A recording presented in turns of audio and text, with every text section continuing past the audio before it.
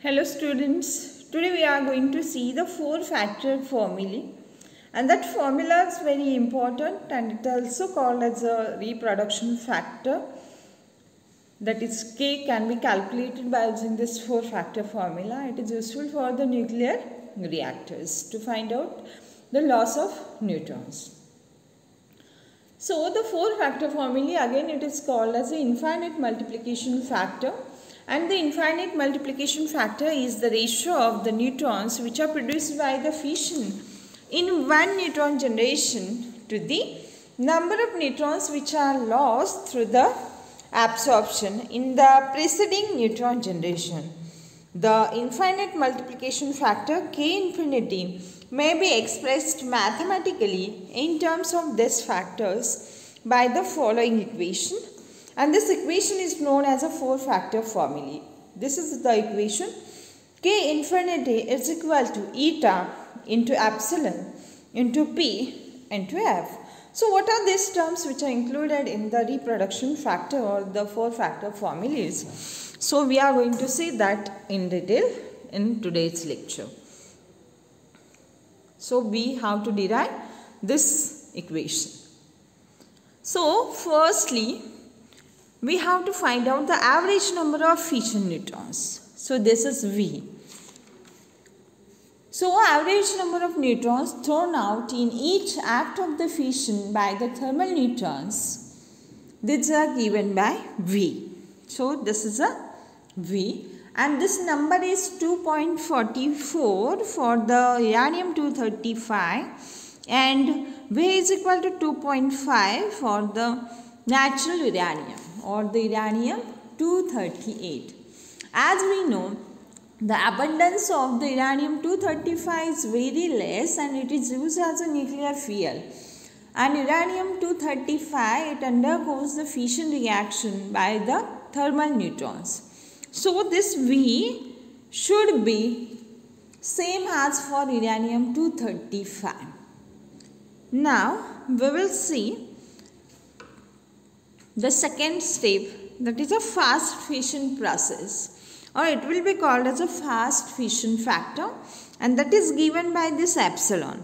So the fast fission process is in the multiplication factor that will be characterized by the fast fission factor epsilon which increases the fast neutron population when in one neutron generation and the fast fission factor is defined as the it is the ratio of the fast neutrons which are produced by the fission at all energies to the number of fast neutrons produced in the thermal fission.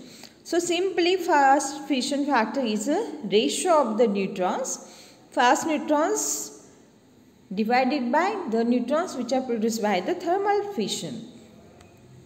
So this is the epsilon and we have to just multiply each term in the equation of the four factor formula. So V into epsilon that will be the neutrons here. Now we will see the third step fast neutron loss factor that is LF. So loss of a fraction LF of the fast neutron which neither meet the natural uranium or that cannot be interact with the moderator material but they will leak out throughout the reactor. So here the LF number of neutrons will be lost. So remaining neutrons will be how much? So as we have initially suppose one number of neutrons is there and out of that LF neutrons will be lost. So remaining neutrons will be 1 minus LF. So V into epsilon in bracket 1 minus LF. This is epsilon. So keep in mind V into epsilon in bracket 1 minus LF. Here this 1 minus LF is the remaining neutrons after the loss of the fast neutrons. Now we will see the next step. This is a resonance capture loss. It is 1 minus p. And the resonance escape probability is p. So in the resonance escape probability the symbol is given p and it is a probability that the neutron will be slow to the thermal energy and will escape resonance capture.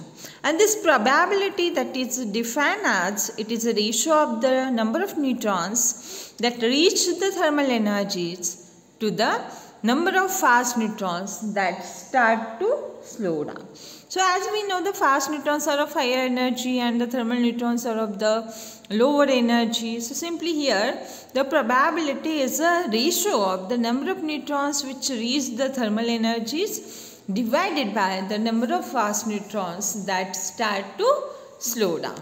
So moderator material converts the fast neutrons into the thermal neutrons. So we have to find out the ratio. This is a probability. So the neutron pass through all the intermediate energies and in this process neutrons of specific energies that are called as the resonance energies. So here the equation initially we have equation this much V into epsilon in bracket 1 minus LF. Now we have the new term which we have to multiply here. This is P that is a resonance escape probability. And the number of neutrons which are lost by the resonance capture this neutrons are 1 minus p. So this much number of neutrons are lost. So just we have to add this uh, p term here because it is of a resonance escape probability. So just I have written this equation here and we have to multiply the next term to this equation only. So the next step is the thermal neutron loss factor. So as we know the neutrons that can be lost through the reactor, uh, through the moderator material, through the coolant or with the interactions. So neutrons leaks through the reactor and that can be given by LT. L represents the loss and T for the thermal neutrons here. So this leaves behind in the reactor a total number of thermal neutrons are so as a LT number of neutrons will be lost, initially we have one neutron. So 1 minus LT will be remaining thermal neutrons in the system. So just multiply this here. So V into epsilon in bracket 1 minus LF bracket complete into P into 1 minus LT. So this is the equation. Now we have to see the next term which we have to multiply in this equation. And this term is a thermal utilization factor that is a F. So the thermal utilization factor F is the fraction of the thermal neutrons that are absorbed in the nuclear fuel. So simply when there is uranium-235 it will capture the neutron and that neutron will be thermal neutron. So simply the neutron will be absorbed by the nuclear fuel. So in all isotopes of the nuclear fuel they will absorb the neutron. So it describes how effectively thermal neutrons absorbed in the fuel and the value of the thermal utilization factor that is given by a ratio and this is a ratio of the number of thermal neutrons that are absorbed by the fuel divided by the number of thermal neutrons absorbed in all the materials that make up the score, core.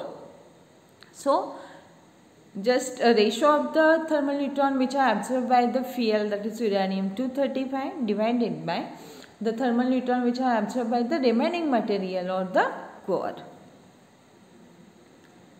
So here is a F. Now we have to just add the F value in this equation. So just multiplication factor is there or formula is a multiplication formula. So we are multiplying the new term each time so now we have the thermal utilization factor F is here. So just multiply this equation by F. So our remaining equation is here. The loss factor due to this. So F number of the neutrons will be utilized. So the loss of neutron is 1 minus F. So here the loss factor due to this materials it's given by 1 minus LF. The thermal utilization factor F of the total available uh, neutrons or the thermal neutrons for interaction with uranium 235 that is given here just we have to multiply here the thermal utilization factor F. So I have written this equation V into epsilon in bracket 1 minus LF into P in a bracket 1 minus LT into F. Now next term is a relative fission cross section. The relative fission cross section is equal to sigma F divided by sigma F plus sigma R. Now this sigma F R the or the sigma R here two terms are included and the that terms are the cross sections or the fission cross sections. So, net number of thermal neutrons react with the uranium-235 in two alternative ways. First is a leading to fission with a cross section sigma F and leading to radiative capture and the alpha decay with a cross section sigma R. So, for the uranium 235, the sigma F value is given which is equal to 4.18 barns. So this B represents the barns and the sigma R or the radiative capture cross section which is equal to 3.5 barns. So this ratio of the relative fission cross section sigma F divided by sigma F plus sigma R after putting these values in the equation we we will get the value 0.544 for the uranium-235. Thus, the number of fissions in the uranium-235 in the natural uranium in the second generation to be. Now, as we have the equation V into epsilon in bracket 1 minus LF into P in bracket 1 minus LT into F.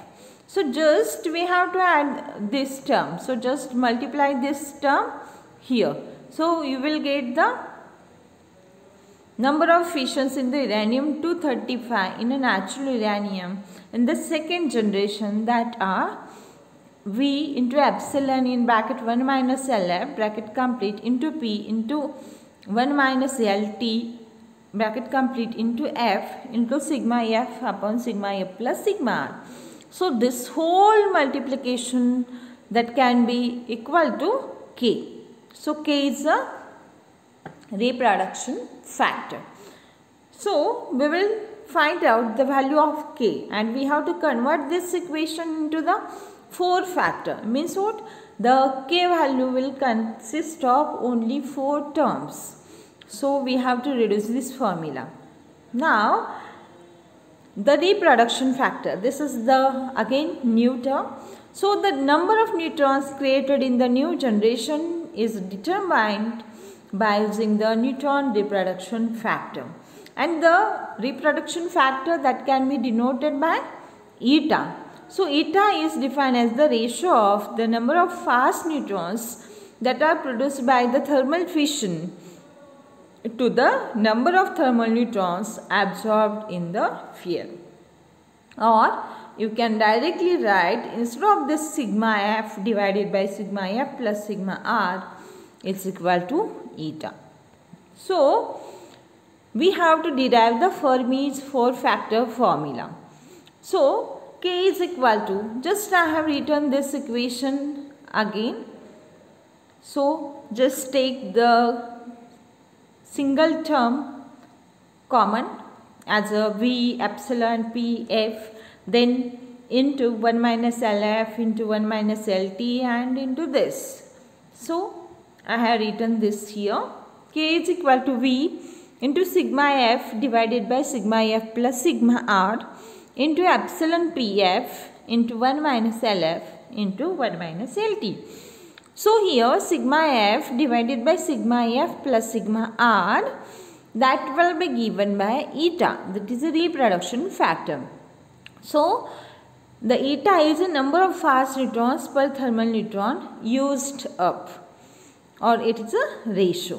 So after putting the value of the eta k is equal to eta into epsilon into p into f in a bracket this is 1 minus LF into 1 minus LT. F for the fast fission neutron loss and LT for the thermal neutron loss. So, when the fast fission uh, neutron loss or the Mm, thermal neutron loss is very less so we have to neglect these terms. Now the remaining equation will be only k is equal to eta epsilon pf so for a reactor of dimensions greater than a critical one the loss of thermal as well as fast neutrons is nearly 0 means when the reactor height is much higher or the dimension of the reactor is much greater then the loss of thermal as well as fast neutron is negligible it is nearly equal to 0 that's why we can write LF is equal to 0 and LT is equal to 0 so equation will become only K is equal to eta epsilon into PF and this equation is known as a 4 factor formula or the reproduction factor formula.